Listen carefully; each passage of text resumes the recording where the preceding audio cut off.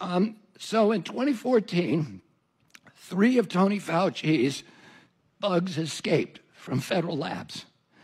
And they, their escapes were public. And it caused a huge uh, brouhaha.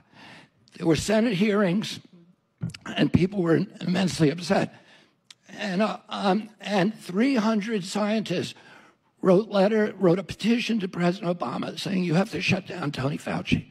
He's going to cause a global pandemic.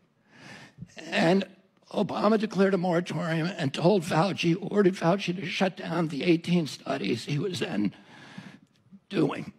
As I show in my book, he didn't do it. He instead took that science and he moved it offshore to the Wuhan lab and to the Ukraine. And when he did that, he was not the only one who did it. Tony Fauci uh, spent about $29 million on gain of function science in Wuhan. But the CIA spent over $100 million. And the military spent about that much too, about 64 million. And they, the CIA funneled the money, most of it through USAID.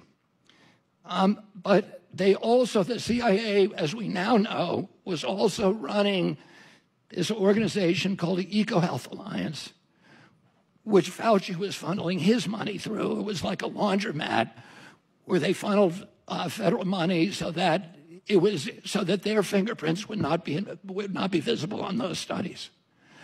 And um, so, I so that's important understand.